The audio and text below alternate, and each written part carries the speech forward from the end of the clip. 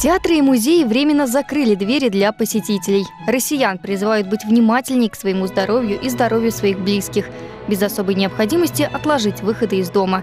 Самара ГИС – телеканал с социальной ответственностью. Мы остаемся на страже хорошего настроения и готовы доказать вам, что оставаться дома не значит скучать. Самара ГИС составит интересную компанию для самоизоляции. Мы подготовили много приятных сюрпризов – Стать театралом, не выходя из дома. Для телеканала «Самара ГИС» нет ничего невозможного. Уже в ближайших эфирах вы увидите трансляцию спектаклей театров «Грань» и «Самарская площадь». Не пропустите!